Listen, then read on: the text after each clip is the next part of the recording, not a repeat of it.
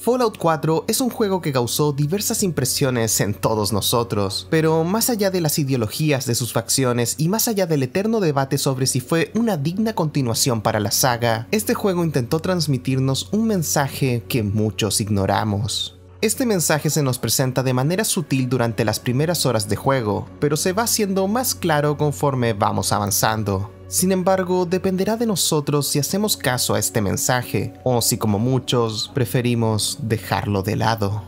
¿Cuál es este mensaje? Quédate conmigo para averiguarlo porque este video está a punto de comenzar.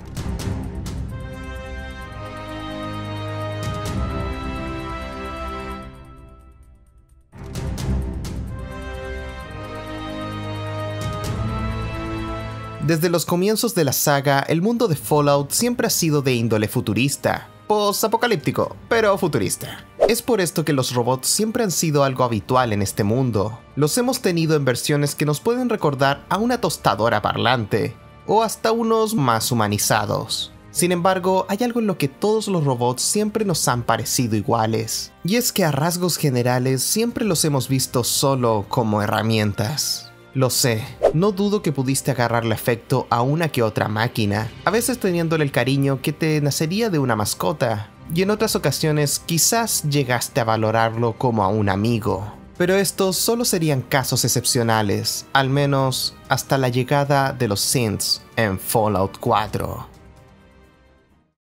Desde un principio toda la trama giraría en torno a los synths, los cuales son una de las más grandes creaciones logradas por el instituto. No quiero que piensen que son solo robots más avanzados que la mayoría y ya, así que vamos a contestar la siguiente pregunta. ¿Qué son los synths?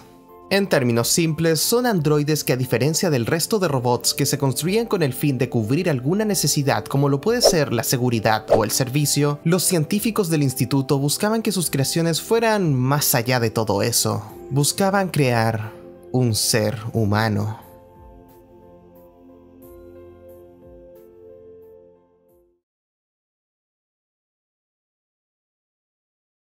Pero esto no sería un camino fácil de recorrer y como testimonio de esto tenemos las distintas generaciones de synths. Analicémoslas brevemente. Los synths de primera generación son seres humanoides totalmente mecánicos, con una apariencia que nos recuerda al esqueleto humano. Estos son la primera versión de campo de los synths y pese a que se ven como un proyecto a medio hacer, son bastante eficientes en sus tareas. Sin embargo, fuera de su apariencia, estos no serían muy diferentes a un robot tradicional, como un Protectron o un Securitron. Pero como mencioné antes, podría entender si le agarras simpatía a uno de estos, pero difícilmente podríamos considerarlo como un humano, o algo cercano a él. Los de esta generación no son más que una máquina más, y estos son los primeros synths que nos encontraríamos al vagar por el yermo, y serán la primera impresión que tengamos de estos. La segunda generación, a diferencia de la primera, tenía una apariencia más humana. Cuentan con un recubrimiento plástico que simula ser piel y músculos, con lo que se asemeja más a cómo se vería una persona. De hecho, si no pones demasiada atención podrías confundirlos fácilmente con un humano. Pero claro, la apariencia no es lo único que importa, su comportamiento y funciones han sido mejorados, aunque este no es el caso en todos los modelos, por lo que los synths de esta generación pueden ser tan planos en términos de personalidad como los de la primera generación o muy complejos, como algunos ejemplares que conocimos a lo largo del juego. El ejemplo más sencillo para tratar es el de uno de los personajes más interesantes de esta cuarta entrega.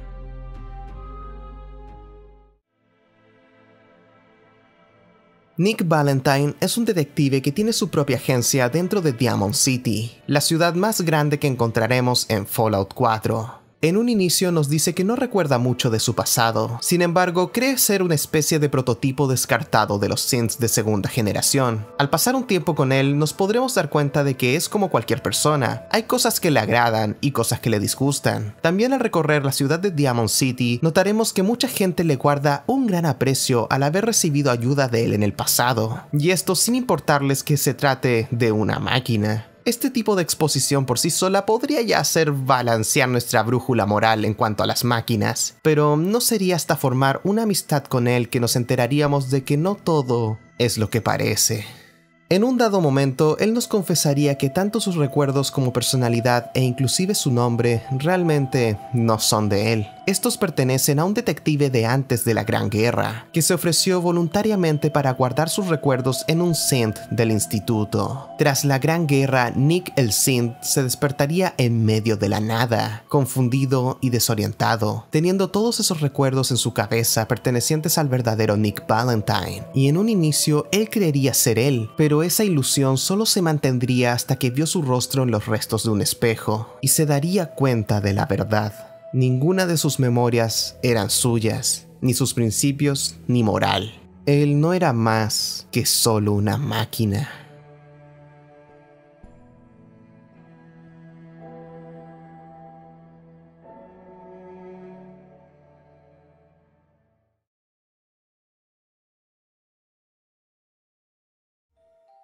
Si bien podríamos pensar que Nick es solo una copia de su versión original, la confusión y preocupación que él mismo demuestra por este asunto es muy humana. Finalmente, si acabamos su historia y lo ayudamos, él llegará a aceptarse a sí mismo y a tener un crecimiento como persona, al darse cuenta de que es más que una simple copia. Sé que muchos creen que lo que en verdad define a un humano es su interior, y no me refiero a sus sentimientos. Hablo de tener sangre en las venas y un corazón latiendo, en lugar de engranajes y circuitos. Si este es tu caso, puede que la tercera y última generación de synths te convenza. La tercera generación es donde todo comienza a ponerse interesante, ya que esta presenta la cúspide del desarrollo de los synths. Aquí se dejó de lado la maquinaria tradicional para dar el salto a los cuerpos biomecánicos, por decirlo de alguna manera. Estos cuerpos son capaces de respirar, sangrar e incluso experimentar sentimientos y emociones. Esta generación de synths es totalmente irreconocible de un humano normal, ya que físicamente son iguales. Los de la tercera generación vendrían siendo técnicamente biorobots, debido a que sus cuerpos son completamente biológicos, aunque claro, creados artificialmente. Como ya dije, son extremadamente similares a un humano normal, aunque cuentan con un cerebro que se puede programar como una máquina normal. En general, los synths de esta generación presentan una personalidad sumisa, saben lo que son y saben que deben obedecer en todo a sus amos. Inclusive hablando con algunos de ellos podemos darnos cuenta de que tienen miedo de lo que les podría pasar de no obedecer. Sin embargo, es obvio que ellos no son conscientes de lo que es el miedo ni de que lo están experimentando. Hay ciertas discusiones morales entre los científicos del instituto por lo que han creado. La gran mayoría solo ve a los synths como herramientas y máquinas, aunque claro, más sofisticadas que sus primos de primera generación, pero un pequeño porcentaje del instituto ve lo que los demás se niegan a reconocer. Ellos han creado individuos capaces de soñar, sentir, pensar, poseer esperanzas y anhelos tan humanos como el deseo de ser libres. Muchos ignoramos esta realidad al jugar Fallout 4, al igual que las distintas facciones como la Hermandad que solo ve a los synths como abominaciones, o el Instituto para los que son solo herramientas. Tras analizar todo esto, dependerá de cada quien decidir qué es lo que nos define como humanos, pero en cuanto a mí, no puedo evitar sentir empatía por la situación de Nick Valentine, o la de Dance, quien es un synth de tercera generación que al igual que Valentine no tenía idea de lo que verdaderamente era. Quién sabe, puede que hasta nuestro personaje en este juego sea un synth sin siquiera saberlo. ¿Qué es lo que nos hace humanos? Ese es el mensaje que nos transmite este juego y el que al mismo tiempo muchos ignoramos.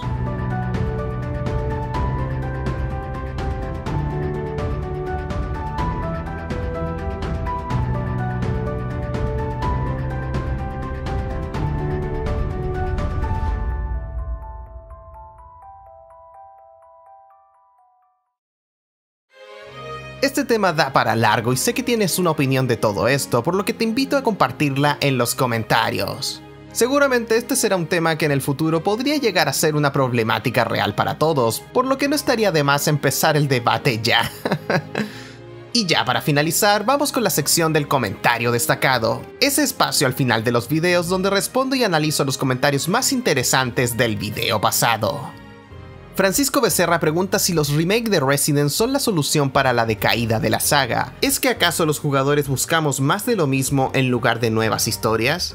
Me tomé algunas libertades para darle un enfoque más interesante a esta pregunta, pero lo cierto es que a veces pareciera que somos los mismos jugadores los que no dejamos avanzar a nuestras sagas al pedir y comprar tantos remakes de nuestros juegos favoritos. A fin de cuentas, si estos no vendieran, créanme, no los seguirían haciendo. Personalmente siempre he creído que un equilibrio es la clave, pero considerando lo ocurrido con la pérdida de la esencia en la saga de Resident, no me extrañaría que se le dé cada vez más importancia a los remakes. ¿Para qué negarlo? La nostalgia vende, pero sí tengo interés en ver nuevas historias, al menos esta es mi opinión. Mario Rodríguez nos propone un sistema en el que existan dos versiones de cada juego, una gratis pero con publicidad y micropagos y una de paga pero sin lo anteriormente mencionado. Esta sería su solución para combatir la piratería y hacer a los videojuegos más accesibles. Déjame decirte amigo que es una noble idea, pero el problema principal que veo aquí es que las empresas siempre buscan ganar más y más con sus ventas, con lo que hoy en día no es raro ver juegos de pago que incluyan además microtransacciones. Este sistema que propones se traduce en más trabajo para las desarrolladoras y menos ingresos, por lo que no creo que sea una solución viable, o al menos no desde el punto de vista de una empresa pero oye, se agradece la intención. Y para terminar, Mr. Olmus pregunta qué opino del DRM en los videojuegos.